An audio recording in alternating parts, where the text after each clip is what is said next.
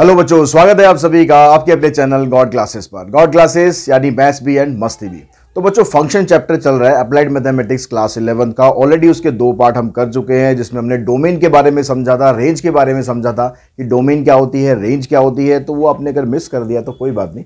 Playlist का link मैं ऊपर देख रहा हूँ, सारे वीडियोज़ आपको उसमें मिल जाएँगे, वो उस लिंक पर आप जाइए, जो बाकी के वीडियोज़ हैं वो देख लीजिए डोमेन और रेंज से रिलेटेड और साथ ही एक चीज़ कहना चाहूँगा कि जो अप्लाइड मैथमेटिक्स का कंटेंट है गॉड क्लासेस पर कंप्लीट अवेलेबल है, चाहे इलेवंथ की बात हो या ट्वेल्थ की बात हो, आपको कंटिन्यूसली यहाँ पर एक कंटेंट मिल रहा है। तो अप्लाइड मैथमेटिक्स के स्टूडेंट अगर आप हैं और आपके फ्रेंड्स हैं तो आपके फ्रेंड्स अगर अभी तक चैनल पर नहीं आए हैं तो आप उनको भी लेकर ज़रूर आइए ताकि अप्लाइड मैथमेटिक्स का कंटेंट उनको भी मिल सके। और दूसरी बात, जो टेलीग्राम चैनल है हमारा, वो भी बना हुआ है, जिसमें आप अपने डाउट्स पोस्ट कर सकते हैं और दूसरों की जो क्वेरी है उनको रिजॉल्व कर सकते हैं। तो उसका लिंक भी आपको डिस्क्रिप्शन बॉक्स में दिया गया। तो टेलीग्राम चैनल ज्वाइन कीजिए और ज्वाइन करने पर जो भी इंपॉर्टेंट इन्फॉर्मेशन है वो भी आपको मिलेगी। प्लस आप एक दूसरे के साथ कनेक्ट करके एक दूसरे के जो डाउट्स हैं, वो भी आप क्लियर कर सकते हैं। तो आज की जो वीडियो हम स्टार्ट करते हैं तो आज की वीडियो में बात करने वाले हैं ग्राफ ऑफ़ रियल फ़ंक्शन अब ग्राफ जब आप क्वेश्चन सॉल्व करते हो तो आपको ग्राफ की वैसे नीट पड़ती नहीं है। हाँ अगर पर्टिकुलरली अगर आपके एग्ज़ाम में पूछ लिया जाए कि भाई ग्राफ इसका बनाना है तो एक अलग बात है, वरना जब हम क्वेश्चन सॉल्व करते हैं तो ग्राफ को करने की आपको ज़रूरत नहीं है। फिर हम ग्राफ यहाँ पर कर क्यों रहे हैं? हम सीधा क्वेश्चन क्यों नहीं कर रहे? ग्राफ करने से आपको एक अच्छा आइडिया मिल जाता है फ़ंक्शंस के बारे में कि फ़ंक्शन का बिहेवियर किस तरीके से है। फ़ंक्शन की डोमेन क्या हो सकती है रेंज क्या हो सकती है? क्योंकि अगर आप सिर्फ़ रट के जाओगे तो आप भूल जाओगे कई बार डोमेन क्या होता है रेंज क्या होता है। तो यहाँ पर हम ग्राफ से समझेंगे कि फ़ंक्शन का डोमेन कैसे निकालेंगे रेंज कैसे निकालेंगे और फ़ंक्शन का जो बिहेवियर है, उसका जो ग्राफिकल प्रेजेंटेशन है, वो किस तरीके से आप कर सकते हो। ये सारी चीज़ समझेंगे, बहुत इंपॉर्टेंट है फ़ंक्शंस को समझने के लिए कि फ़ंक्शन किस टाइप के फ़ंक्शंस होते हैं और कैसे हम उनकी डोमेन या रेंज आइडेंटिफाई कर सकते हैं। क्योंकि अगर आपको क्वेश्चंस मान लो आपको याद नहीं है कि किसी फ़ंक्शन की डोमेन और रेंज क्या है तो आपको ग्राफिकल प्रेजेंटेशन याद होगी। एक विजुअलाइजेशन आपके पास होगा तो आप उसको फटाफट निकाल सकते हो कि इसकी डोमेन क्या है और रेंज क्या है। तो सबसे पहले हम स्टार्ट करते हैं यहाँ पर कॉन्स्टेंट फ़ंक्शन से। अब जैसा कि इसका नाम है कि कॉन्स्टेंट फ़ंक्शन जब भी हम ग्राफिकल रिप्रेजेंटेशन करते हैं तो आपको एक तो फ़ंक्शन को रिप्रेजेंट करना है। अब क्योंकि कॉन्स्टेंट फ़ंक्शन है तो कॉन्स्टेंट फ़ंक्शन को हम कैसे रिप्रेजेंट कर सकते हैं? कॉन्स्टेंट फ़ंक्शन को रिप्रेजेंट करने के लिए हम लिखते हैं यहाँ पर F X equals to C अब सी क्या है यहाँ पर? Where C is any constant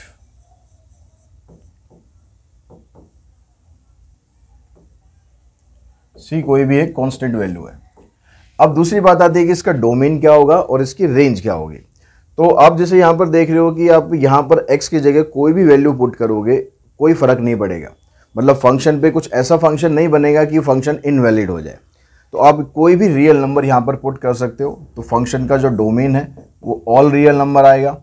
अब लेकिन यहाँ पर आप देख रहे हो, यहाँ पर जो आप वैल्यू पुट करने जा रहे हो डोमेन का मतलब है कि आप एक्स की वैल्यू पुट करने जा रहे हो। लेकिन यहाँ पर तो एक्स है ही नहीं, खाली सी है। तो जब एक्स है ही नहीं वहाँ पर तो आप वैल्यू पुट करोगे क्या? पुट कर ही नहीं सकते। मतलब ये हुआ कि जो आंसर आपका आएगा, यानी जो रेंज आएगी, उस पर कोई फ़र्क नहीं पड़ेगा। रेंज आपकी हमेशा सी ही रहेगी। तो यहाँ पर समझने के लिए कि ग्राफिकल प्रेजेंटेशन कैसे होगा, मैं एक वैल्यू ले लेता हूँ, कोई कांस्टेंट वैल्यू ले लेता हूँ। एफ़ एक्स की वैल्यू ले ली, मान लो मैंने टू अब यहाँ पर मैं x की वैल्यू कुछ भी पुट करूँ, जो एफ़ एक्स आएगा, उसका आंसर क्या आएगा? टू ही आएगा।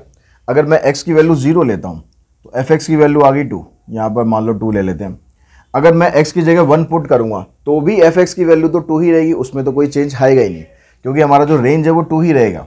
तो यहाँ पर मान लो मैंने वन लेता हूँ वैल्यू तो एफ़ एक्स की वैल्यू आएगी टू अगर मैं वैल्यू टू लूँगा तो भी एफ़ एक्स टू रहेगा। वैल्यू थ्री लूँगा तो भी एफ़ एक्स टू ही रहेगा।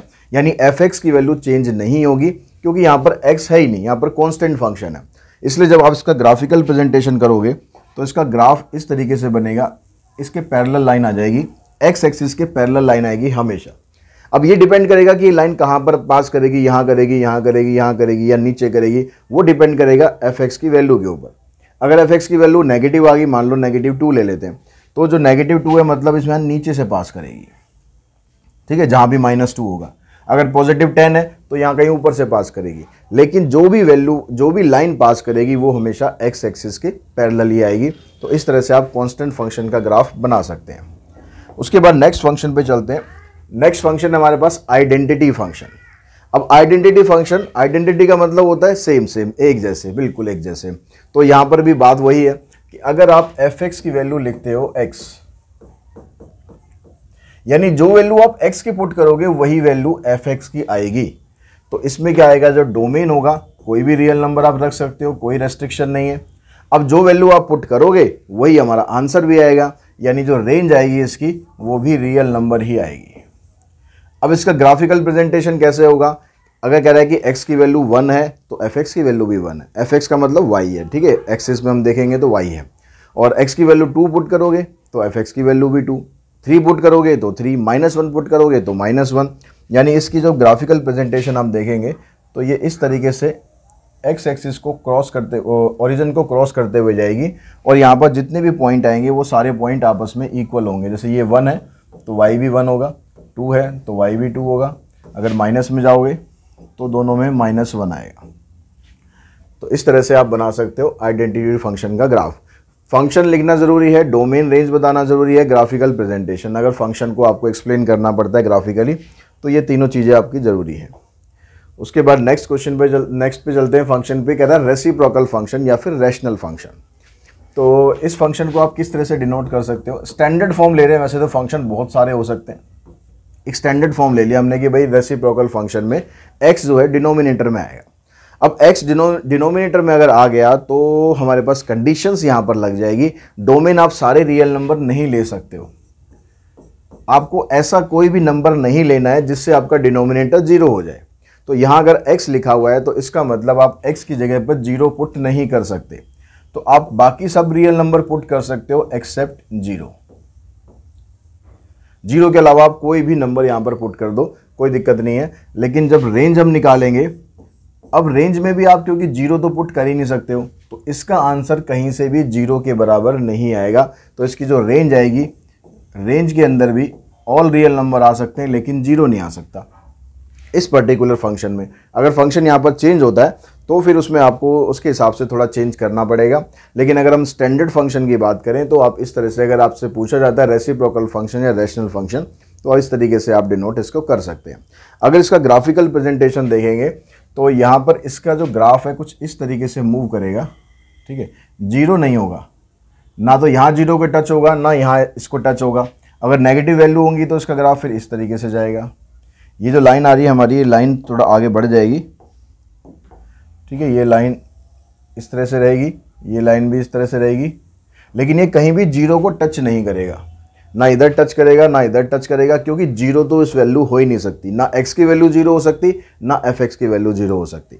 और जैसे जैसे आप पॉइंट प्लॉट करोगे, अगर आपको याद भी नहीं रहता पॉइंट प्लॉट करके बना दो कि एक्स की वैल्यू वन है तो ये वन आ जाएगा एक्स की वैल्यू टू है तो वन बाई टू आ जाएगा तो वन बाई टू मतलब ज़ीरो पॉइंट फाइव इस तरह से दो तीन पॉइंट प्लॉट करके आपको आइडिया लग जाएगा कि इसका ग्राफ कैसे बनेगा। उसके बाद नेक्स्ट पे अगर चलते हैं नेक्स्ट फ़ंक्शन है हमारे पास स्क्वायर रूट फ़ंक्शन अब स्क्वायर रूट फ़ंक्शन को आप डिनोट करेंगे तो इस तरह से आ गया, ये f x equals to f x equals to square root of x अब स्क्वायर रूट फ़ंक्शन में क्या खासियत होती है? ये जो रूट का जो साइन लगा होता है, क्योंकि हम यहाँ पर ग्राफ बना रहे हैं किसके रियल फ़ंक्शंस के ग्राफ बना रहे हैं। तो आपको जो भी वैल्यू रखनी है, वो रियल वैल्यूज़ में रखनी है। तो यहाँ पर x की वैल्यू जब आप डोमेन पुट करोगे तो x की वैल्यू क्या हो सकती है? x की वैल्यू अगर मैं नेगेटिव पुट करना चाहूँ तो नेगेटिव पुट करना मतलब माइनस वन तो माइनस वन करने पर क्या होगा? रूट के अंदर आ जाएगा माइनस वन और ये रियल नंबर में पॉसिबल वैल्यू नहीं है। यानी रूट के अंदर नेगेटिव वैल्यू नहीं होनी चाहिए। ये हमने जो डोमेन रेंज का जो कंसेप्ट किया था, उसके अंदर भी हमने समझा था। तो यहाँ पर आपको x की वैल्यू ज़ीरो रख सकते हो या ज़ीरो से बड़ी कोई भी रख सकते हो। यानी डोमेन के अंदर ज़ीरो हो सकता है और जो रेंज इसकी जो लिमिट है मैक्सिमम अप टू इन्फिनिटी हो सकती है। आप कोई भी वैल्यू पुट कर सकते हो। यानी नेगेटिव नंबर्स नहीं आएँगे, बाकी आप कोई भी नंबर इसमें पुट करो।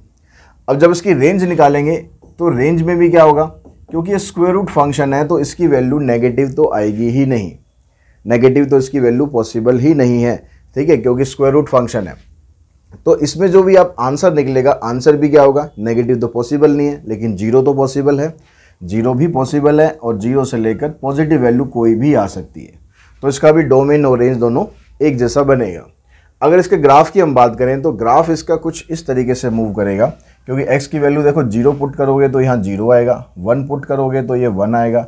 अगर यहाँ टू पुट करोगे तो टू का स्क्वायर रूट होता है one point four one something तो अगर आप टू पुट करोगे तो वैल्यू थोड़ी सी बढ़ेगी मतलब ग्राफ आप बनाओगे तो इसका इस तरीके से मूव करेगा ग्राफ तो इस तरीके से बनेगा ये स्क्वायर रूट फ़ंक्शन का ग्राफ उसके बाद हम चलते हैं फिर नेक्स्ट पोलिनोमियल फ़ंक्शन पर। पोलिनोमियल फ़ंक्शन आप काफ़ी टाइम से पढ़ते आ रहे हैं। इसको अगर मैं स्टैंडर्ड फॉर्म में डिनोट करना चाहूँ क्योंकि पोलिनोमियल में बहुत सारे पोलिनोमियल आ जाते हैं।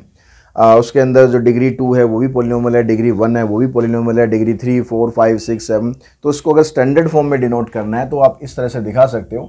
A zero a one into में एक्स ए टू इंटू में x square a three into में एक्स क्यूब इस तरह से करते करते अप टू एन तक हो सकता है। अब इस एन की वैल्यू हमें पता नहीं। मतलब degree one two three four five six seven degree zero भी हो सकती है। जितनी मर्ज़ी डिग्री हो सकती है। अब इसका जो ग्राफ है वो डिपेंड करेगा कि आप किस तरह का पोलिनोमियल ले रहे हो। अगर मैं सिर्फ़ पहले वाली वैल्यू लेता हूँ तो इसका जो ग्राफ है वो बनेगा कॉन्स्टेंट फ़ंक्शन का, जो ऑलरेडी हम डिस्कस कर चुके हैं। अगर मैं ये वाली वैल्यू लेता हूँ तो इसका ग्राफ बनेगा लीनियर क्योंकि यहाँ पर एक्स की पावर वन आ रही है। तो ग्राफ जब इसका लीनियर आप बनाओगे तो किस तरीके से बन सकता है? तो लीनियर का मतलब होगा कि बिल्कुल एक स्ट्रेट लाइन आएगी। अब वो डिपेंड करेगा कि आपको ग्राफ क्या फ़ंक्शन किस तरह का दिया हुआ है। लेकिन जो लाइन आएगी ना, आपकी बिल्कुल स्ट्रेट आएगी। कैसे भी पास करे लाइन बिल्कुल स्ट्रेट आएगी। ठीक है, ये बनेगा किसका? लीनियर का। अगर आप क्वाड्रेटिक का ग्राफ बनाते हो तो क्वाड्रेटिक का ग्राफ बनेगा आपका क्वाड्रेटिक फ़ंक्शन जैसे मान लो f x equals to x square हो गया। तो इसका ग्राफ आप बनाओगे तो इसका ग्राफ कुछ इस तरीके से बनेगा, जैसे पैराबोला बनता है। अगर आप क्यूब वाले का ग्राफ बनाना चाहोगे f x equals to x cube तो इसका ग्राफ हम बनाएँगे तो इसके ग्राफ में क्या आएगा? इसकी जो वैल्यू है वो इस तरह ये इसका ग्राफ इस तरीके से जाएगा। पॉजिटिव वैल्यू होगी तो ऊपर की तरफ़ बढ़ता जाएगा नेगेटिव वैल्यू होगी तो नीचे की तरफ़ बढ़ता जाएगा। तो इसका जो डोमेन आएगा वो तो रियल नंबर आएगा, लेकिन जो रेंज है वो डिपेंड करती है कि किस तरह का फ़ंक्शन दिया हुआ है तो उसके हिसाब से आपको उसकी रेंज लिखनी है। ठीक है? उसके बाद नेक्स्ट जो ग्राफ है हमारे पास, वो है मॉडुलस फ़ंक्शन अब मॉडुलस फ़ंक्शन भी बड़ा मतलब इंटरेस्टिंग फ़ंक्शन है कहता है इसके अंदर आप कोई भी वैल्यू डालोगे तो वो आपको पॉजिटिव वैल्यू देगी। चाहे आप नेगेटिव वैल्यू इसके अंदर डालो, चाहे पॉजिटिव वैल्यू इसके अंदर डालो, बड़ा पॉजिटिव फ़ंक्शन है, आपको हमेशा एक पॉजिटिव वैल्यू देगा। तो इसको जब हम मॉडुलस साइन को जब हटाएँगे रिप्रेजेंट तो इसको ऐसे करते हैं f x equals to mod of x लेकिन अगर आप इस मॉडुलस साइन को हटा के इस फ़ंक्शन को रिप्रेजेंट करना चाहते हैं तो कैसे आप करेंगे? इसको आप लिखेंगे minus x and plus x दो फ़ंक्शन में कन्वर्ट कर दो। अब माइनस एक्स ये कब होगा? जब एक्स की वैल्यू लेस देन ज़ीरो होगी। क्योंकि यहाँ पर ऑलरेडी माइनस लगा हुआ है। और मैं कह रहा हूँ कि एक्स की वैल्यू नेगेटिव ही है। एक्स की वैल्यू लेस देन ज़ीरो है। तो इसके अंदर मान लो मैं नेगेटिव टू पुट करता हूँ। तो माइनस माइनस प्लस टू आएगा। तो आंसर आपका प्लस ही आएगा। ठीक है? और जब आप खाली पॉजिटिव एक्स लिख रहे हो तो इसका मतलब एक्स की वैल्यू ग्रेटर देन और इक्वल्स टू ज़ीरो हो सकती है। यानी पॉजिटिव वैल्यू डालोगे तो पॉजिटिव आंसर आएगा ही आएगा। नेगेटिव वैल्यू डालोगे तो भी पॉजिटिव आएगा क्योंकि नेगेटिव साइन वहाँ पर है। तो इसलिए जब भी मॉडलस फ़ंक्शन को लिखना हो आपको अलग अलग करके तो इस तरीके से आप उसको एक्सप्रेस करेंगे। और जब इसकी डोमेन आएगी डोमेन के अंदर आप कोई भी रियल नंबर डाल सकते हो। आप चाहे नेगेटिव वैल्यू डालो, चाहे पॉजिटिव वैल्यू डालो, कुछ फ़र्क नहीं पड़ेगा। ठीक है? लेकिन जब इसकी रेंज निकालोगे तो रेंज इसकी मैक्सिमम ज़ीरो आ सकती है मिनिमम ज़ीरो आ सकती है, और ज़ीरो से लेकर इन्फिनिटी तक कुछ भी आ सकती है। क्योंकि आंसर इसका कभी भी नेगेटिव नहीं आता है। या तो ज़ीरो रहेगा या ज़ीरो से बड़ी कोई भी पॉजिटिव वैल्यू जाएगी अप टू इन्फिनिटी तक।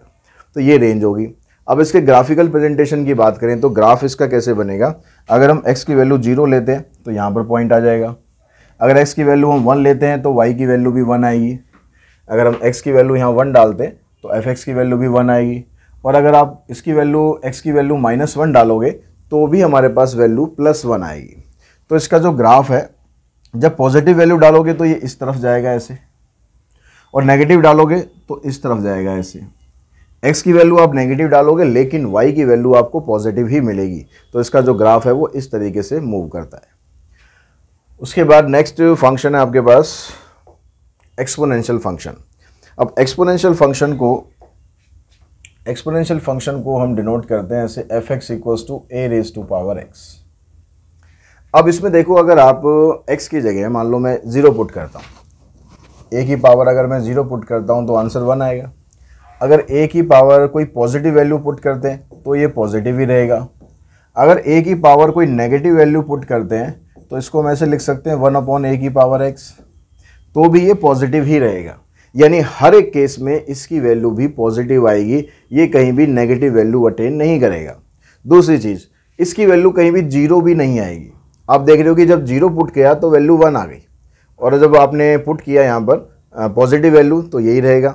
और जब आप नेगेटिव वैल्यू पुट करोगे तो भी ये ज़ीरो के बराबर तो नहीं आएगा। यानी ये फ़ंक्शन कभी भी ज़ीरो के बराबर नहीं होता। और जितनी आप एक्स की वैल्यू यहाँ बढ़ाते जाओगे एक्स की वैल्यू जैसे जैसे बढ़ाते जाओगे, मान लो मैं कहता हूँ कि टेन की हमने बेस ले लिया टेन ये अगर मैं कहता हूँ टेन की पावर वन तो ये टेन हो गया। और टेन की पावर टू करेंगे तो ये आ जाएगा हंड्रेड तो आपने देखा भाई टेन की पावर जब वन थी तो वैल्यू सिर्फ़ टेन थी। लेकिन जैसे ही आपने टू पावर करी, आपने एक्स की वैल्यू तो एक ही बढ़ाई है ना? लेकिन आपकी जो वैल्यू है वो एफ़ की वो बढ़ गई एकदम हंड्रेड अगर मैं यहाँ पर एक वैल्यू एक्स की और बढ़ा दूँ तो एफ़ की वैल्यू बनेगी वन थाउज़ेंड तो इसी इसको बोलते हैं एक्सपोनेंशियल ग्रोथ मतलब तेज़ी से ग्रोथ आप जो इनपुट डाल रहे हो, वो तो कम डाल रहे हो, लेकिन जो आउटपुट आ रहा है, वो बहुत ज़बरदस्त आ रहा है। तो इसका जब हम ग्राफ बनाएँगे तो इसका ग्राफ कुछ इस तरीके से मूव करेगा। यहाँ पर वन तो आएगा ही आएगा मतलब जब आप एक्स की वैल्यू ज़ीरो पुट करोगे वाई की वैल्यू वन आएगी। ठीक है? जब हम इसका ग्राफ बनाएँगे, थोड़ा सा इसको हम और इधर मूव कर लेते हैं।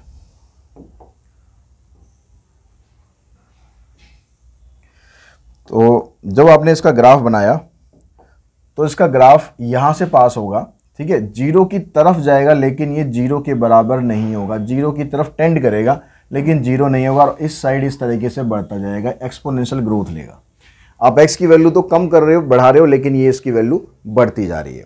लेकिन यहाँ पर क्या होगा, जब ये वाला ग्राफ आप बनाओगे तो उस केस में जो ए की वैल्यू है ना, वो ग्रेटर देन वन होगी। अगर ए की वैल्यू वन हो गई तो आंसर आपका वन ही रहना वन की पावर तो आप कुछ भी करो, वो वन ही रहना है। अगर ग्रेटर देन वन आएगी तो आपके पास ये वाला जो ग्राफ है, इस तरीके से बनेगा। अगर ए की वैल्यू ज़ीरो से लेकर लेस देन वन तक आ जाए, क्योंकि नेगेटिव तो ये होगी नहीं, ठीक है वैल्यू ये नेगेटिव तो होगी नहीं ए की वैल्यू ग्राफ यहाँ पर ए की वैल्यू हमेशा पॉजिटिव रहेगी। तो ये वैल्यू कितनी हो सकती है? या तो ग्रेटर देन वन होगी या ज़ीरो से लेकर वन तक के बीच में होगी। तो उस केस में जो ग्राफ है ग्राफ बनेगा ऐसे ही, इसी फॉर्मेट में बनेगा, लेकिन डायरेक्शन उसकी अपोजिट हो जाएगी ये। क्योंकि यहाँ पर ए की वैल्यू ज़ीरो से वन का मतलब है कि वन से छोटी है। और वन से छोटी है तो आप उसमें जैसे जैसे वैल्यू बढ़ाओगे तो उसकी वैल्यू कम होगी, ना कि बढ़ेगी। तो इस तरीके से आप, यहाँ भी ये ज़ीरो को टच नहीं करेगा ज़ीरो की तरफ़ टेंड करेगा, लेकिन ज़ीरो पे टच नहीं करना। तो ये हो गया हमारा एक्सपोनेंशियल फ़ंक्शन का ग्राफ इसका अगर हम डोमेन देखें तो डोमेन में तो आप कोई भी नंबर पुट कर रहे हो। कोई भी नंबर आप पुट कर रहे हो, लेकिन जो रेंज आ रही है हमारी रेंज इसकी ज़ीरो से इन्फिनिटी तक आ रही है और ज़ीरो की तरफ़ भी ओपन इंटरवल लगाया क्योंकि ये ज़ीरो के बराबर नहीं होगी ज़ीरो से बड़ी कोई भी वैल्यू हो, लेकिन ज़ीरो नहीं होगी। अगर इसके नेक्स्ट फ़ंक्शन की बात करें तो वो इसका एक तरह से अपोजिट फ़ंक्शन होता है लॉगरिदमिक फ़ंक्शन लॉग फ़ंक्शन को हमें पता है कि हम किस तरीके से इसको डिनोट कर दें। ऑलरेडी हम लॉग वाले चैप्टर में पढ़ चुके हैं। Log x to the base a अब यहाँ जो बेस होता है, ये वन के बराबर नहीं होता। और जो x होता है यहाँ पर, x हमेशा पॉजिटिव नंबर होता है। ठीक है? X की जो वैल्यू होगी, वो हमेशा पॉजिटिव पॉजिटिव वैल्यू होगी। अब इसका जब आप ग्राफ बनाओगे लॉग फ़ंक्शन का जब आप ग्राफ बनाओगे तो इसका जो ग्राफ है, जो एक्सपोनेंशियल फ़ंक्शन है ना, उसका लगभग उल्टा बनेगा। क्योंकि दोनों रेसिप्रोकल फ़ंक्शन भी आप इनको कह सकते हो। अब यहाँ पर जब इसका ग्राफ की हम बात करेंगे, x की वैल्यू आप, x की वैल्यू आपको पता है कि भाई ग्रेटर देन ज़ीरो होगी। अगर हम ज़ीरो रख देते हैं सॉरी वन रखते हैं, अगर हम एक्स की वैल्यू वन रखते हैं तो वन रखने पर क्या होगा?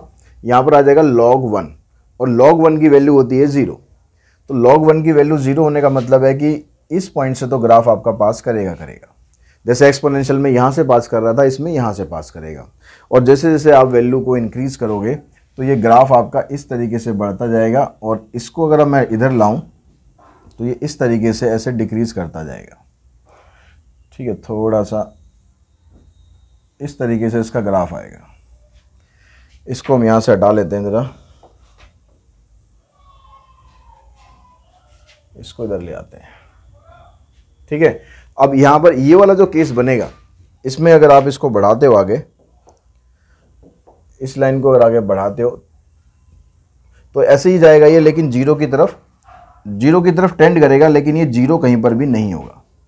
ठीक है? इस तरीके से इसका ग्राफ बढ़ता रहेगा। यहाँ पर भी कंडीशन ये है कि जो ए की वैल्यू है, वो ग्रेटर देन वन होगी। और अगर ए की वैल्यू ज़ीरो से वन के बीच में होगी तो उस केस में जो ग्राफ है इसका, वो कैसे आएगा? अगर ए की वैल्यू ज़ीरो से वन तक के बीच में हो तो इसका ग्राफ जो है इस तरीके से बनेगा। यहाँ भी ये इस पॉइंट वन ज़ीरो से पास करेगा और इस तरीके से बढ़ेगा। ठीक है? तो ये बनेगा आपका लॉग फ़ंक्शन का ग्राफ अब इसका जो डोमेन और रेंज है ना, वो बिल्कुल उल्टा हो जाएगा। जैसे एक्सपोनेंशियल का क्या रेंज था, वो उसका डोमेन बन जाएगा और जो डोमेन थी वो रेंज बन जाएगी। तो उसका जो डोमेन है, ये बनेगा ज़ीरो टू इन्फिनिटी क्योंकि आप नेगेटिव वैल्यू तो इसमें पुट कर ही नहीं सकते। एक्स की वैल्यू उसने बताया कि ग्रेटर देन ज़ीरो होती है लॉग फ़ंक्शन में। तो इसका मतलब ज़ीरो से बड़ी कोई वैल्यू पुट करोगे पॉजिटिव वैल्यू ज़ीरो भी पुट नहीं कर सकते। और जो आंसर आएगा आपका, वो कोई भी रियल नंबर आ सकता है। जो डोमेन आएगी आपकी सॉरी जो रेंज आएगी, वो कोई भी रियल नंबर आ सकता है। पॉजिटिव साइड जा रहे हैं तो पॉजिटिव वैल्यू भी आ रही है। ठीक है, अगर एक्स की वैल्यू इधर से इधर बढ़ रही है तो ये नेगेटिव में भी आ गया। तो इसकी, इसका मतलब है कि जो रेंज है उसकी पॉजिटिव नेगेटिव कोई भी आ सकती है, कोई भी रियल नंबर आ सकता है। उसके बाद जो नेक्स्ट फ़ंक्शन है, वो है हमारे पास ग्रेटेस्ट इंटीजर फ़ंक्शन अब ग्रेटेस्ट इंटीजर फ़ंक्शन को जब हम डिनोट करेंगे तो उसको इस तरीके से डिनोट किया जाता है। ये वाली ब्रैकेट लगाते हैं, बड़ी वाली ब्रैकेट जिसे बोलते हैं, इसको लगाते हैं। अब इसमें इसका मतलब इसकी खासियत क्या होती है, इसका फ़ंक्शन क्या होता है ग्रेटेस्ट इंटीजर फ़ंक्शन का। इसमें कहता है कि अगर आपके पास कोई नंबर लाइन है, ये ज़ीरो आ गया, ये वन आ गया, ये टू आ गया, इधर से माइनस वन आ गया तो इस नंबर लाइन पर आप कहीं भी कोई भी पॉइंट लो, मान लो मैं सपोज़ यहाँ पर पॉइंट ले रहा हूँ एक। तो यहाँ पर अगर मैं पॉइंट ले रहा हूँ तो इसकी जो वैल्यू आएगी मान ये मान लो ये पॉइंट है माइनस ज़ीरो पॉइंट फाइव।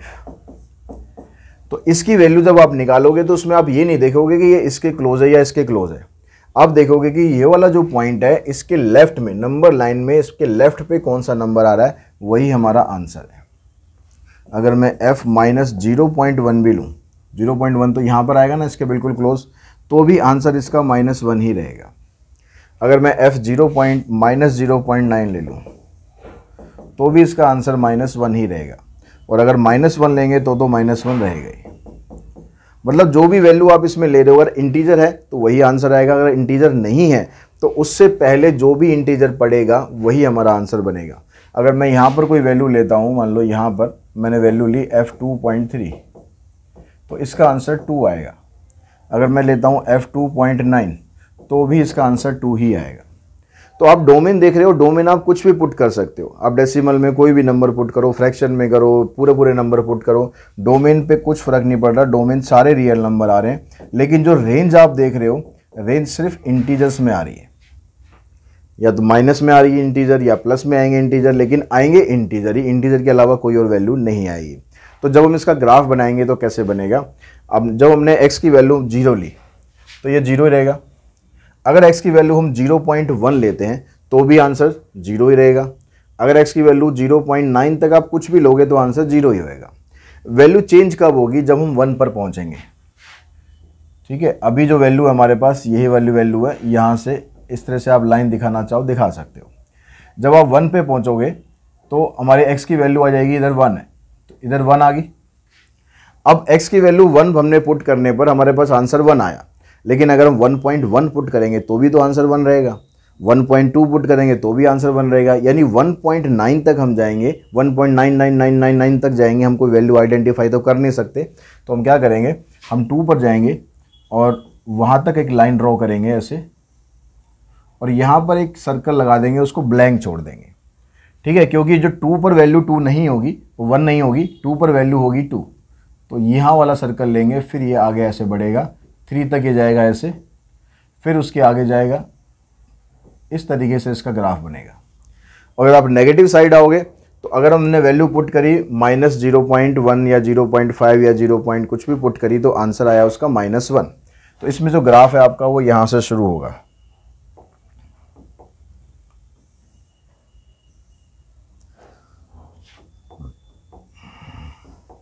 तो इसमें जो ग्राफ है आपका माइनस वन वैल्यू मान लो यहाँ पर है। तो यहाँ से स्टार्ट होगा ग्राफ आपका, फिर ये इस तरह से चलेगा। माइनस वन पर आके ऐसे नोट लगा दोगे, फिर यहाँ से आगे बढ़ेगा, इधर सर्कल डार्क कर दोगे।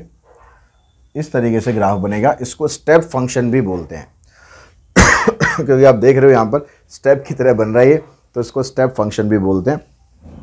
तो यही सारे फ़ंक्शन आपको दिए हैं। उन सबके ग्राफिकल प्रेजेंटेशन हमने डिस्कस कर लिए आई होप आपको ये समझ में आ गए होंगे किस तरह से इनके ग्राफिकल प्रेजेंटेशन आपको करने हैं। तो आज की इस वीडियो में इतना ही करते हैं। नेक्स्ट वीडियो में करेंगे एक्सरसाइज इसकी 9.3 तो आज के लिए इतना ही। Thanks to all of you